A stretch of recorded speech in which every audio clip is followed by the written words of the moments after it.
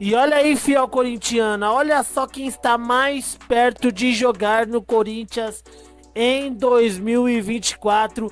E o Augusto Melo já disse que vai buscar o jogador. Olha só quem tá pintando no Corinthians, hein, fiel? Mas antes, deixa o like para fortalecer o canal. Se for novo por aqui, clica no botão aí embaixo e se inscreva. Canal Alerta Corinthians é tudo sobre o Timão. E bora pra notícia, fiel corintiana.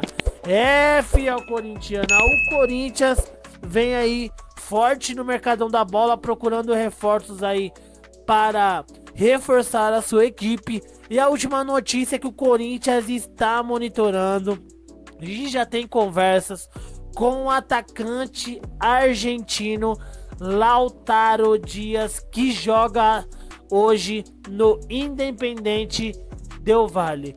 O centroavante tem 25 anos e nesta semana ele assinou é, com a OTB Esportes, com empresários brasileiros, e isso o Corinthians se animou e pode facilitar a negociação para ele se tornar um reforço do Corinthians. O Corinthians já confirmou que está estudando uma proposta para ser feita ao jogador.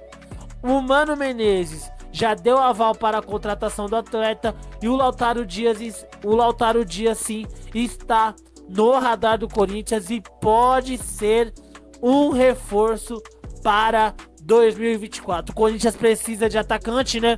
É, liberou o Felipe Augusto essa semana para ir para a Bélgica. Não tem um centroavante altura e também há muita desconfiança com Yuri Alberto. E o Corinthians precisa de um centroavante para é, por, repor a sua equipe à altura. E aí, fiel corintiana, o Lautaro Dias é uma boa aí para a próxima, próxima temporada? Deixa a opinião de vocês aí no comentário. Vou ficando por aqui. Tamo junto. Forte abraço.